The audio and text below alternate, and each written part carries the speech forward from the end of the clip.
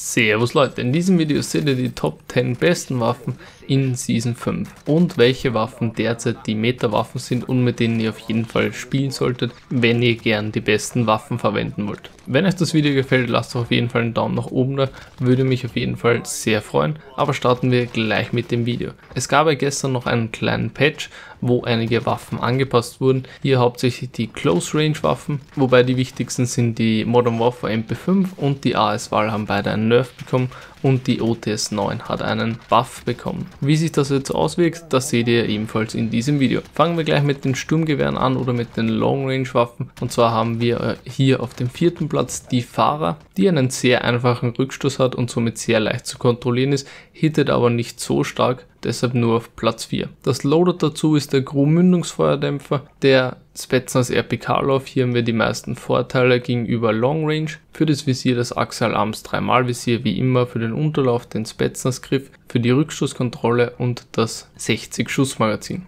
Das ist der komplette Bild und das war schon wieder als Abwechslung nicht schlecht, aber vom Schaden her ist sie leider nicht so stark. Auf Platz Nummer 3 haben wir die brandneue EM2. Diese wurde am Anfang relativ viel gehypt, ist aber nicht so stark wie man glaubt. Sie ist sehr ähnlich wie die C58, hat aber ein bisschen einen Rückstoß, den man kontrollieren muss, hittet aber vom Schaden her relativ gut. Das Loader dazu ist der Agency Schalldämpfer, den habe ich hier noch gar nicht freigeschalten. Für den Lauf den Ranger Lauf, für das Visier das Axial Arms 3x Visier, ganz normal, für den Unterlauf den Feldagentengriff, für die Rückstoßkontrolle und für das Magazin das 40 Schuss Magazin, das reicht vollkommen, weil die Waffe eigentlich relativ hart hittet und ihr nicht so viel Schuss braucht wie bei einer anderen Waffe. Wie gesagt, eine gute Abwechslung zu C58. Ich habe bei der Waffe aber leider nicht dieses perfekte Feeling wie bei anderen Waffen. Kommen wir zu Platz Nummer 2 und das ist die Krieg. Das ist die beste Anfängerwaffe sozusagen. Sie hat sehr, sehr wenig Rückstoß, also die hat eigentlich gar keinen Rückstoß, hat aber zwar auch nicht so viel Schaden, aber ist sehr, sehr einfach zu spielen. Würde ich auf jeden Fall empfehlen, wenn euch der Rückstoß der ersten Waffe zu hoch ist. Das Loader dazu ist der Agency Mündungsfeuerdämpfer, der Ranger Love. Hier gehen wir wieder voll auf die Range. Für das Visier das Axial Arms 3x Visier, Unterlauf der Feldagentengriff für die Rückstoßkontrolle. Somit habt ihr null Rückstoß und für das Magazin das 60 Schuss Standardmagazin. Kommen wir zu Platz Nummer 1 der Long Range Waffe und zwar ist das, wie ich schon erwähnt habe, die C58 noch immer eine Top-Waffe, Top-Schaden. Also die ist echt ein Wahnsinn, wenn ihr da mindestens einen Headshot macht, lädt die, die Gegner wie nichts und auch einen relativ kontrollierbaren Rückstoß. Aber ein bisschen mehr als die Krieg halt. Für die Mündung den HC Mündungsfeuerdämpfer, für den Lauf den Sonderkommandolauf, wenn ihr eher auf Rebirth spielt, auf Verdansk würde ich euch fast den Ranger empfehlen. Aber wie gesagt, ich spiele immer mit dem Sonderkommandolauf und dem Axial Arms 3x Visier. Hier gibt es auch Leute, die spielen das Royal Cross 4x Visier.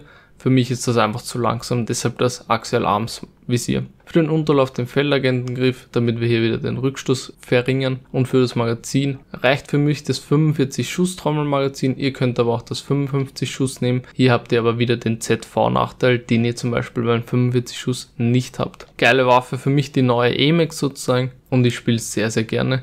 Ihr könnt auch noch beim Fadenkreuz das bei allen Visieren ändern auf Präzision, je nachdem wie es euch gefällt. Ich spiele lieber mit dem Präzisionsfadenkreuz. So, das was mit den Long Range Waffen. Kommen wir nun zu den Close Range Waffen. Und zwar ist da auf Platz Nummer 4 die Bullfrog.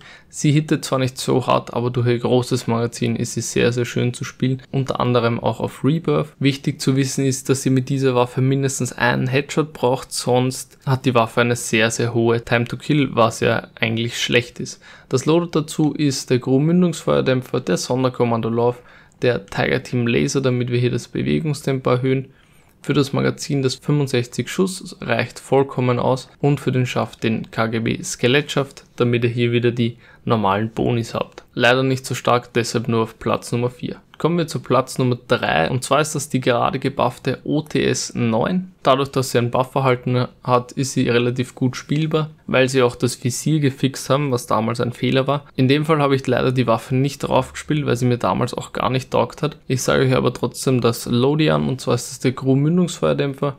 Uh, by the way, mit dem Geheimagenten Blueprint habt ihr schon einige Aufsätze, der ist gar nicht so schlecht. Für den Lauf wäre das dann der Sonderkommandolauf, für den Laser den Tiger Team Laser, eh wie immer, für den Schaft den letzten Schaft und für das Magazin könnt ihr das 40 Schuss Schnelllader nehmen, weil die Waffe von Grund auf schon eine gute ZV-Geschwindigkeit hat. Kommen wir zu Platz Nummer 2 und ja, ich sehe es schon, es ist die gerade eben genervte MP5. Und warum? Weil durch diesen Nerf wurde die Waffe nur verschlechtert, wenn er nicht in die Brust schießt. Das heißt, wenn ihr auf die Füße schießt oder so, dann ist die Waffe relativ schlecht. Hier müsst ihr aber jetzt nur die Brust treffen oder halt darüber. Und die Waffe ist noch immer sehr, sehr stark. Also für mich noch immer eindeutig auf Platz Nummer 2 eine Top-Waffe. Hier habt ihr wieder zwei Möglichkeiten. Entweder im Monolith-Schalldämpfer, dafür dann den klappbaren Schaft. Für den Unterlauf immer den Söldnergriff, der bleibt gleich. Magazin 45 Schuss ist auch immer gleich. Und Fingerfertigkeit, das ist mein Go-To-Bild. Ihr könnt aber auch Fingerfertigkeit weggeben und den 5 mW Laser nehmen und den Schalldämpfer integriert Monolith. Hier habt ihr dann den Hipfire-Bild und ihr könnt dann auch den Klappbahnschaft austauschen auf Fingerfertigkeit, je nachdem wie ihr die Waffe spielen wollt. Und kommen wir zu Platz Nummer 1 und es war so klar, es ist wieder mal die Mac 10. Einfach, ich weiß nicht, was ich sagen soll, die Waffe ist einfach ein Traum. Die ist einfach so schön zum Spielen und wenn ihr die mal handeln könnt, dann laser die aber wirklich alle weg. Für das Loader das ganz normale Setup, den Aegis im Mündungsfeuerdämpfer, den Sonderkommandolauf, den Tiger Team Laser, damit wir hier die Schnelligkeit erhöhen, den Plündererschaft und das 53 Schuss Trommelmagazin, einfach damit wir hier volle Mobilität haben. So Leute, das war es eigentlich mit den hauptsächlichen Waffen und ich zeige euch jetzt noch zwei Bonuswaffen. Und zwar einmal für Ghost Loadout und einmal für Sniper. Für das Ghost Loadout haben wir die Diamati Pistol, weil die Psycho ja genervt wurde. Und die Diamati könnt ihr folgendermaßen spielen. Mit dem Agency Mündungsfeuerdämpfer, mit dem Sonderkommandolauf dem Tiger Team Laser, damit wir hier das Bewegungstempo wieder erhöhen, für das Magazin das 30 Schuss normale Magazin. Und für den Griff die Luftelastigumwicklung. Oder ihr könnt sie natürlich wahlweise mit Akimbo spielen, je nachdem was euch lieber ist. Mir persönlich ist aber die Single Pistol in dem Fall lieber. Und bei den Sniper ist die K derzeit noch immer ganz oben, und ich schätze mal, das Loaded kennen die meisten eh. Ich zeige es euch aber sicherheitshalber nochmal. Mit dem Monolith-Schalldämpfer, dem letzten Lauf, dem taktischen Laser, dem Zielfernrohr, für den Schaft dem Präzisionskeil oder wenn ihr noch mehr auf Geschwindigkeit gehen wollt, dann das gemusterte Griffband.